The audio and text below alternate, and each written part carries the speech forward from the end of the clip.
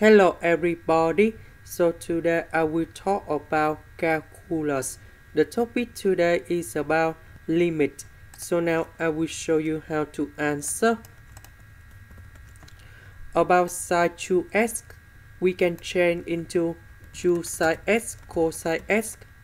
About tan x, we can change into sine x over cosine x Sine s on numerator and sine s on denominator, they will simplify.